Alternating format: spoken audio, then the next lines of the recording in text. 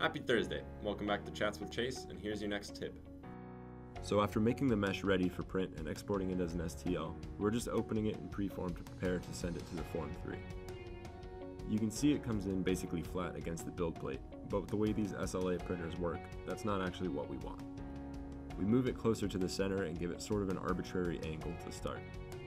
Each new layer needs something to start from, so the idea is to kind of start with a point and have everything build up from that. In a way, it's sort of the opposite of how you would prep for FDM printing. You can see that as we go through this process, we keep checking that each layer has something to build off from the previous layer, which is done with that slider on the right that steps through each level. The guide from Formlabs recommends not placing your build directly on the plate, so supports will be necessary.